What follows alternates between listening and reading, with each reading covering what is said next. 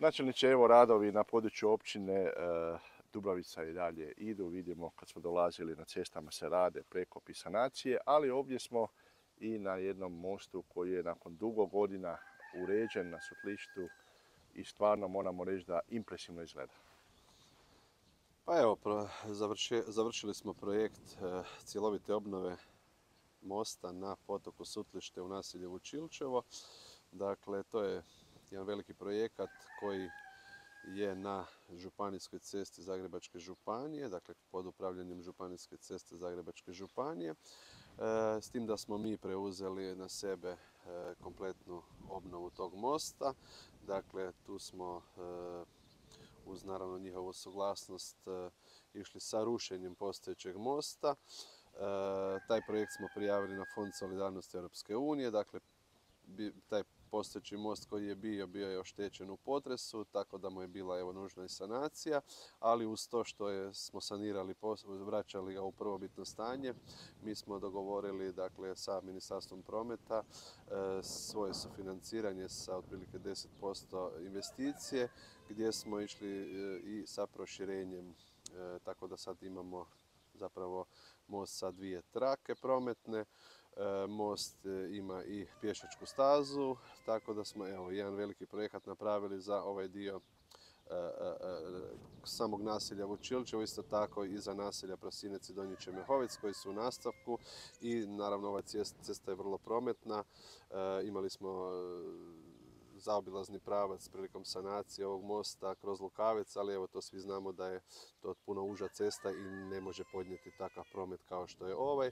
Evo tim više što je i u nastavku nam je e, granični prijelaz e, Figarov most e, koji je nakon što smo ušli i u Schengen otvoren zapravo i tu se odvija puno veći promet nego što je to i prije bilo. Imali smo imamo sad puno naravno i Slovenaca pa i ljudi iz e, trećih zemalja koje prolaze ovom cestom, tako da evo mislim da je to bio dobar e, i kvalitetan potez i naravno to, to je sad izgrađen most koji će biti za generacije iza nas.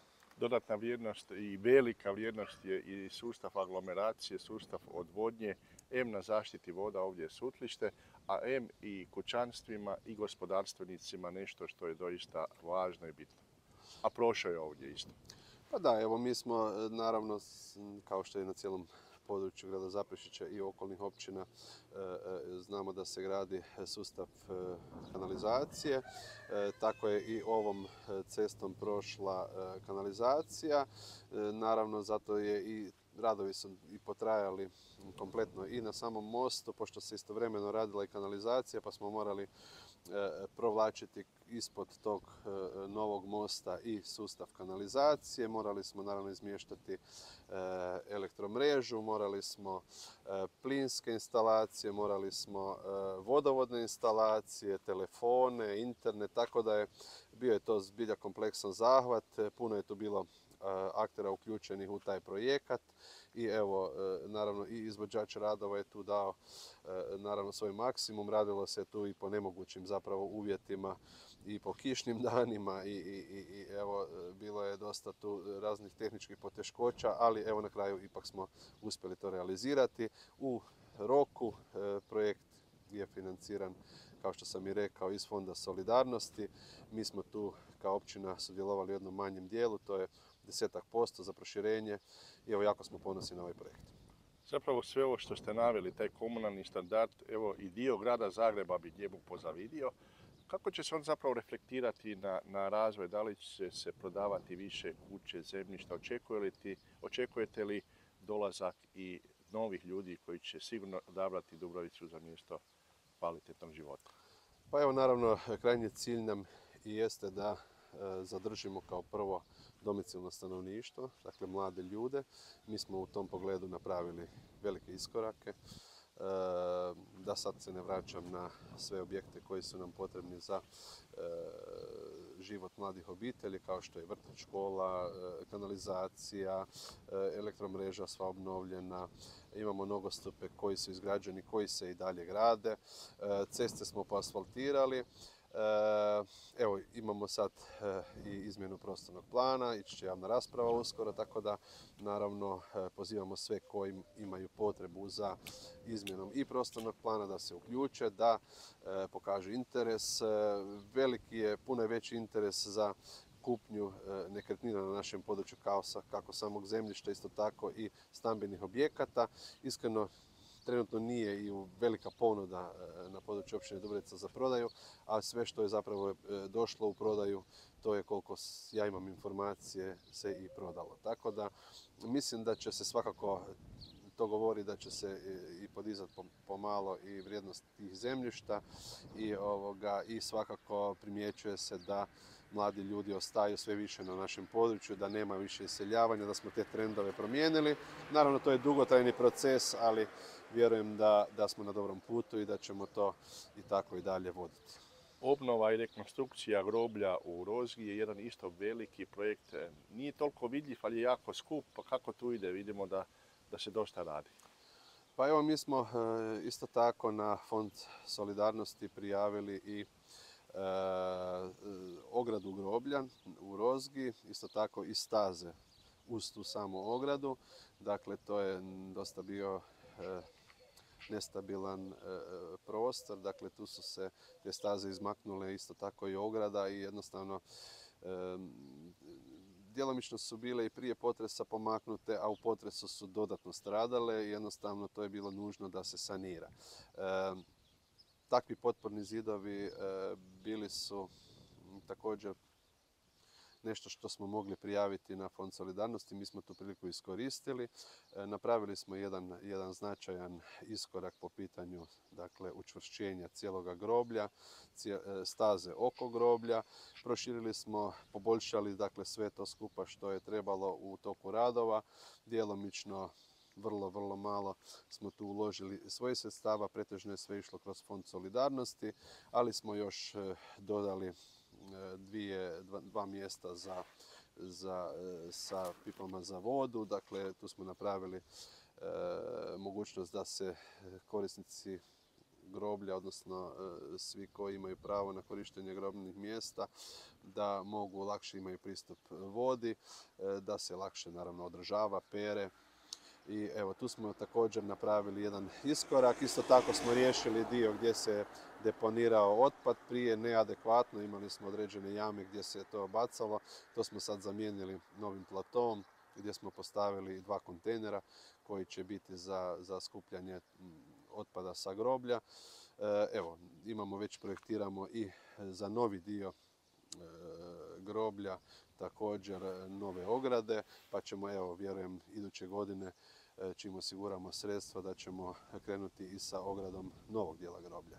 Tu smo prodali sva grobna mjesta, evo planiramo još red dva e, sagraditi novih, tako da imamo naravno u ponudi e, za naredno razdoblje. Dobra je vijest i dobra je tema da će se sport dalje razvijati. Vi ste uspjeli svojim aktivnostima od države dobiti zemljište za budući športski centar, dakle malo južnije kad krenemo, opet jedan sadržaj i tekako vrijedan. Da, po pitanju e, sporta mi smo tražili e, od e, Republike Hrvatske, znači od Ministarstva državne imovine, jednu parcelu, nešto veću od jedan hektar, što, u čemu smo na kraju uspjeli. To je dugotrajan proces, ali uspjeli smo tu parcelu dobiti, naravno u namjensku svrhu. Dakle, namjenska svrha je te parcele da se u roku pet godina izgradi sportsko-rekreacijski centar kao što je to bilo e, našim idejnim rješenjem i predloženo Ministarstvu državne imovine, što je ovoga prihvaćeno i mi bi sada trebali krenuti sa tim koracima. Nedavno smo se tek uknjižili na tu parcelu, tako da mi sad imamo evo, puno pravo da krećemo sa daljnim aktivnostima. E, ići ćemo sa projektiranjem i evo čekat ćemo neke od europskih fondova da e, to prijavimo i evo vjerujem da ćemo uspjeti kroz tih pet godina osigurati sredstva za izgradnju tog sportskog centra. Interes mladih je vidljiv, da naravno mi moramo gledati i nekakve buduće generacije koje nam tek dolaze, koje su sada možda osnovnoškolci, da će im to trebati i vjerujem da da ćemo to uspjeti realizirati i tu se zapravo usmjeriti tu energiju dodatno i na mlade, na djecu, da imaju određene sportske sadržaje na tom, na tom sportskom centru. To nije samo nogometno igralište, to, tu su razni sadržaji, čak imamo i e, teniske terene, nekakve planirane staze e, i popratne objekte, tako da evo, tu, tu ćemo se potruditi u narednom razdoblju da to realiziramo. U tom bazenu je i Farov, osma faza se nastavlja i čini se da cijela priča obnove ide kraju. Da, što se tiče starog župnog dvora, tu mi naravno u suglasnost župe Svete Ane i župnika, e, e, kako sadašnjeg župnika, tako i prijašnja tri župnika su sudjelovala zapravo u tom projektu. E, mi taj projekt već deseta godina e, e, provodimo fazno, dakle kako osiguramo i u mogućnosti smo osigurati financijska sredstva, tako taj projekt i vučemo dakle, i nastavljamo dalje. Trenutno smo završili osmu fazu, idemo sada prijaviti prema Ministarstvu kulture i devetu i ja vjerujem da ukoliko osiguramo dovoljno sredstava da će sada evo, u devetoj fazi biti, biti ovoga, sve to i završeno. Moram podsjetiti e, dakle, da smo mi e, stari župni dvor rastavljali, dakle izmještali ga na drugu poziciju, e, da smo naravno iz temelja gradili sve iz početka, da je to isto dugotrajan proces. E, evo i kako smo mogli godišnje osigurati sredstva, tako smo na tome radili, ali evo i to vrijeme je polako prošlo i e, ja vjerujem da ćemo 2024. taj projekt privesti kraju. E, naravno onda sa e, župom, župnim vijećem, župnikom dogovoriti svrhu korištenja tog prostora.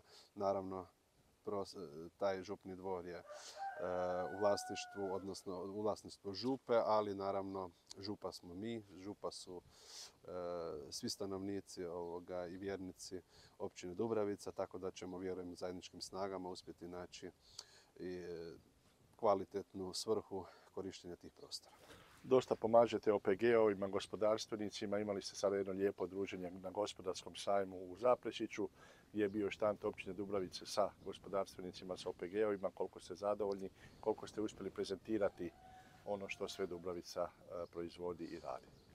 Pa evo, mi smo e, prezentirali, dakle imali smo e, jedan OPG, imali smo udrugu vinara na tom sajmu. Naravno tu smo djelomično i samu općinu prezentirali, tako da evo, sudjelujemo već dugi niz godina na sajmu gospodarstva u Zaprešiću.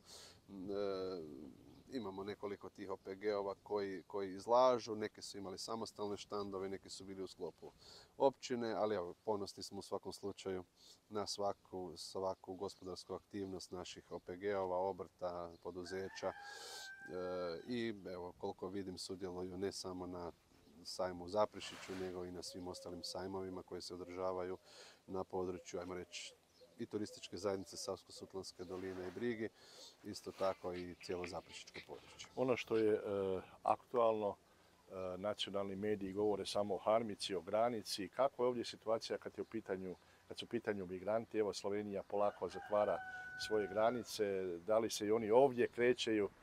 kakva je sigurnosna situacija? Pa gledajte, mi koliko, koliko vidimo, bilo je svega, ne znam koliko sam ja sam osobno vidio, e, grupa dvije tih migranata koji su se našli na ovom području. Vjerovatno ima toga i više što mi i ne znamo i ne vidimo, ali evo tu smo pogranično područje, uvijek je tu bio, uvijek je bio problem e, sa migrantima i ne samo sada nego unatrag i dvadesetak pa možda i tridesetak godina uvijek je tu bila nekakva e, cirkulacija ljudi koji bježe iz raznih nedaća, iz cijelog tog, e, kako bi rekao, istočnog i, južnog dijela, dakle, prema našem, prema nama i, i idu u zapadnu Europu, tako da Mislim da će to biti jako teško spriječiti e, e, preko noći, ali evo jednostavno to je sve stvar interesa onda i Europske unije i Republike Hrvatske da se, da se zapravo granice zatvore onako kako se to dogovori u Europi. Evo danas smo dio Europe i mislim da bez Ono što dogovora. vidimo, policija je prisutna, helikopteri su u zraku, dakle ne možemo reći da se ne čuva granica. Ne, granica, granica se definitivno čuva jako, policija je jako prisutna na ovom našem području, od Krapinsko-zagorske županije pa sve do, do, do, do, Harmice, moram reći koliko, koliko mi to vidimo i zbilja se tu, tu policija trudi. Naravno, nikad 100% se ne može zatvoriti, ali mislim da se puno radi na tome i evo tu, tu stvarno ovoga, moramo se zahvaliti policiji. Nemamo nikakvih problema na našem području da je bilo tko od naših mještana, stanovnika da je, da je u bilo kom smislu osjetio nekakav problem po pitanju migranata. Hvala vam lijepa načelniče.